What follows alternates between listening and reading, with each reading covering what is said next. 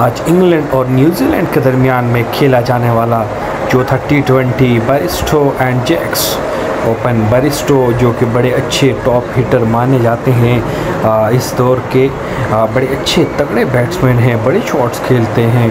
और आ, उठा दिया बरिस्टो ने मिड विकेट बाउंड्री से बाहर छः रन के लिए। बड़े अच्छे बैट्समैन हैं, बड़ा तगड़ा खेलते हैं स्पिनर्स को बहुत अच्छा खेलते हैं। स्वीप शॉट्स लॉन्ग स्वीप इनके पास बहुत अच्छी है। ये स्वीप पे चौका लगाया उन्होंने विल जैक्स उनका साथ देते हुए। अभी दो 3.3 ओवर्स इकतीस स्कोर हो चुका है, इंग्लैंड का।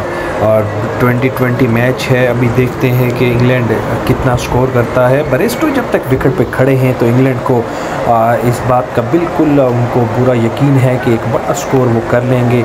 18-36 पे बरिस्टो और 24 बॉल अठहत्तर अड़तालीस रन और विल जैक्सन का साथ देते हुए बरिस्टो और छः ओवर में पैंसठ कोई विकेट अभी तक नहीं गिरा इंग्लैंड का। और बिल आखिर सऊदी ने ब्रेक थ्रू दिलाया अपनी टीम को पैंसठ पे एक इंग्लैंड।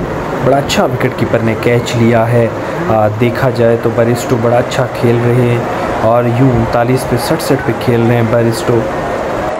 बात की जाए अगर न्यूजीलैंड की बॉलिंग की तो बॉलर बहुत सेंटनर हैं लेफ़्ट आर्म स्पिनर हैं। उनके साथ सऊदी को अगर देखा जाए right arm leg break bowler हैं बड़े अच्छे लेग ब्रेक बॉलर हैं। यू सेंटनर ने एक और विकेट ली है।